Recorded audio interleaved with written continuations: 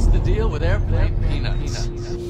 Kill Tony started off this year with the biggest spectacle in podcasting history, with back to back arena shows that were packed full of electric moments and high stakes drama. But coming down from such a massive high, there was a chance that once this show returned to its normally scheduled programming, that it might take a few weeks for the New Year's hype to wear off and the show to get back into a normal rhythm. But there's a reason Kill Tony is dubbed the number one live podcast in the world, because they not only didn't skip a beat coming into 2024, but last week, Kill Tony put on a comedy clinic during episode 650, reminding everyone just how good the simple format of this show can really be when the bucket pulls, panel members, and audience are all performing at elite levels.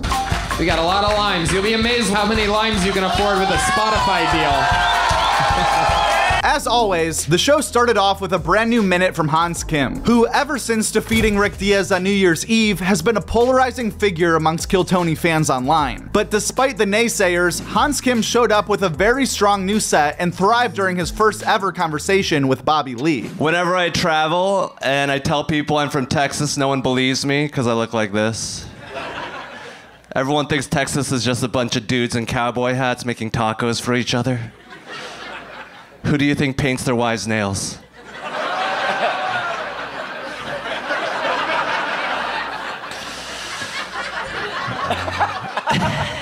A lot of immigrants are coming across the border, which is great because my windshield's kind of dirty.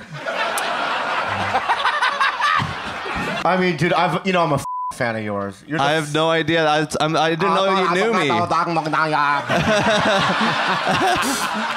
what the f-? I'm sorry. I thought you were from Texas. I have no idea. I have no idea, guy. no, but dude, I mean, I never thought there was a filthier than me. And um, honestly, when I watch you, I go, "Oh my god, that's like uh, like you're like my son or something." I am your son. like a descendant or whatever. And I like what you're doing. And I'm so. I know your parents are probably disgraced, yes.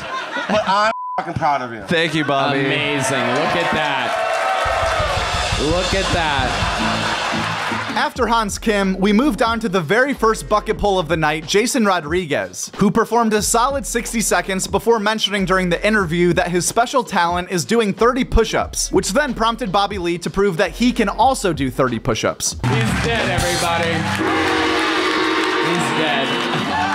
Welcome to Kill Bobby. The cool thing about Kill Tony being at the mothership every single week is that you truly never know what could happen next. As we saw right after Bobby's push ups, Bert Kreischer appeared on stage in electric fashion. Jason, not you're have gonna get off that. Oh my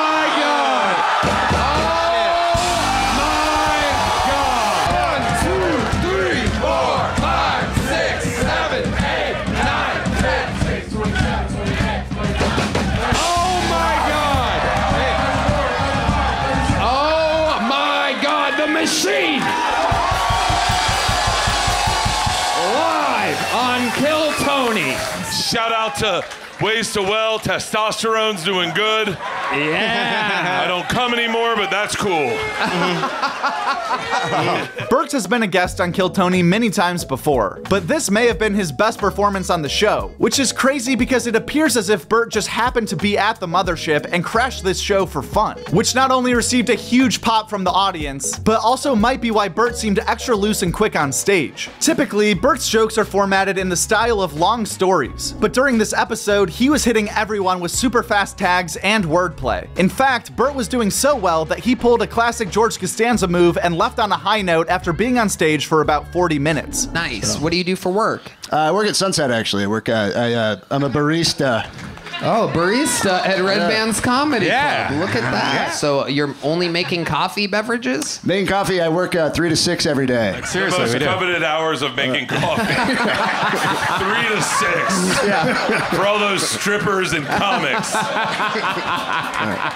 if they like write a new joke during the coffee hour, they can just go up and try the material out to, to all these people that Wow. are All And those I thought, and I thought Starbucks had it nailed. well, you're telling me is there's a coffee shop out there where I can hear their thoughts. So like when, when you when when he says cousin, that could mean a friend of more than like a year. But if it's a cousin cousin, that means that it is your uncle or aunt's That's my child. first. That's my first cousin's cousin. R- What? Oh, that's a second cousin. Friend. Cousin. Right. Yep. Bobby was Yeah, yeah. Right. They don't get to say dad, so they say cousin a lot. That's good. That's good. I, that's not cool, but Nah, that's hilarious. thank you. Thank That's for the you. him. Is I, I Natron's take that appreciation coming from you. You're funny as fuck. is Natron's dad in his life? Yeah, yeah, yeah. My Oh, uncle Billy. okay. He didn't bounce. Nah. What's a real cousin then? Like if you My were to real- say like a real cousin. My Yeah. first cousin. That's my cousin. Uh, yeah, that's my cousin. Well, Red I- Man, you're Joe Rogan's producer producer.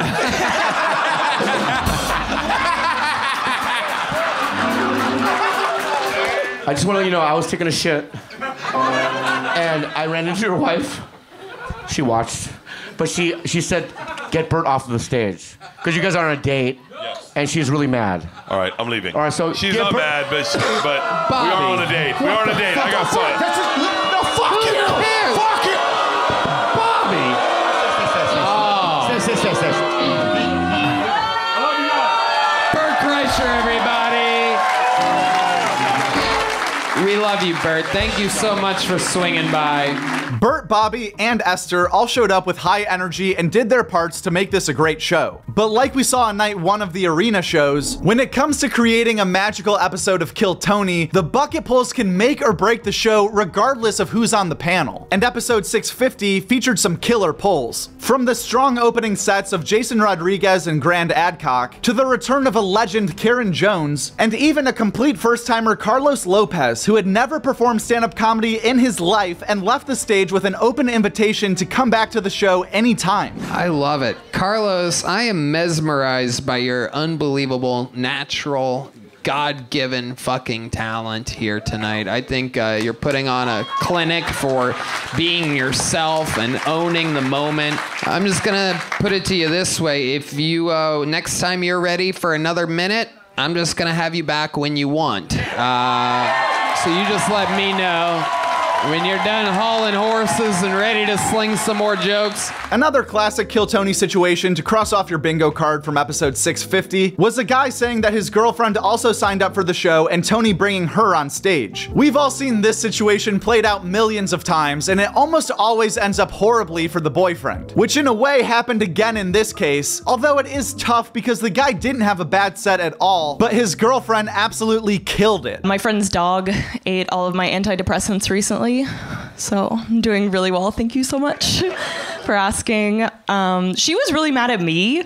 She was like, How could you leave these out? You could have killed them. Uh, I'm gonna kill myself. That's. Uh, that is what they were for. Um, the, the dogs are thriving. they. They've actually never been better. Um, uh, they're texting their friends back. They're they're making their beds in the morning. They do have trouble reaching orgasm, but um, that's that's okay. I'm just I'm just kidding. Don't worry. It's still super easy to make them come. Um, I don't know. I don't know. wow. She's better than you.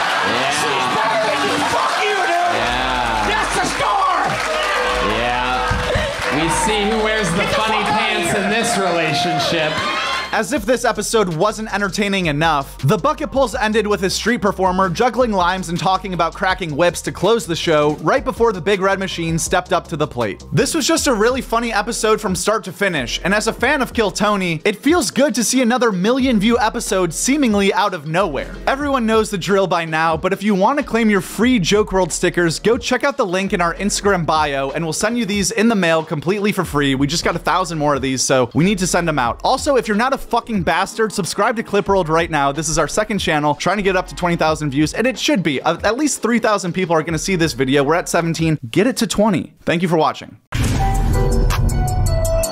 At Joke World. That's it, at Joke World. And the world is WRLD. That's a great uh, YouTube channel, Joke World. Check it out.